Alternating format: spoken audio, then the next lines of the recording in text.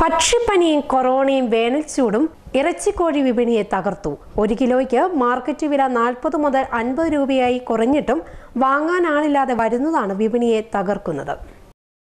ആരോഗ്യമേഖലയിൽ കേരളം നേരിടുന്ന വെല്ലുവിളികൾക്ക് തീവ്രത കൂട്ടുന്നതായിരുന്നു പക്ഷിപ്പനിയും മറ്റും റിപ്പോർട്ട് ചെയ്യപ്പെട്ടത്. ഈ സാഹചര്യത്തിൽ കോഴിയും താറാവും കാടയുമടക്കമുള്ള പക്ഷികളെ കൂട്ടത്തോടെ കൊന്നൊടുക്കി കേരളം പ്രതിരോധം ശക്തമാക്കുകയും ചെയ്തിരുന്നു. എന്നാൽ രോഗബാധിത മേഖലയിലല്ലാത്തിടത്തും കൊഴിക്കും താറാവിനും കാടയ്ക്കും ആവശ്യക്കാരില്ലാതായി. ഏറ്റുമാനൂർ പോലെയുള്ള പ്രധാന മാർക്കറ്റുകളിൽ പോലും ആവശ്യക്കാരുടെ എണ്ണം വിരലിലെണ്ണാവുന്ന വിധം കുറഞ്ഞു. കോഴിവില നിലവിൽ പകുതിയിലധികം താന്നിട്ടും സ്റ്റോക്കുള്ളത് പോലും വിറ്റഴിക്കുവാൻ പലർക്കും കഴിയുന്നില്ലെന്നതാണ് വസ്തുത. എന്നാൽ വ്യാപാരികൾ ഇത് സമ്മതിക്കുവാൻ തയ്യാറുമല്ല. കച്ചവടം കുഴപ്പമില്ല. നമ്മുടെ കസ്റ്റമറൊക്കെ കോഴി മേടിക്കുന്നുണ്ട്. കോഴി ഒരു ആശ്രമൊന്നുമില്ല. സാധാരണ കോഴി എങ്ങനെ വെച്ചിട്ടുണ്ട് നമ്മുടെ ഡെയിലി എങ്ങനെ വെച്ചിട്ടുണ്ട്?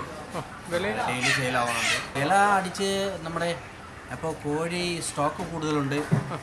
അതിന്റെ വില അതിന്റെ വലിയ വില കുറവായി. പിന്നെ നോമ്പായിട്ട് വില ഡിമാൻഡ് കുറവുണ്ട്. നീണ്ടൂരിലെ ഹോൾസെയിൽ വിൽപ്പനശാലയിൽ കോഴിവില മുപ്പത്തി ഒൻപത് രൂപയാണ്.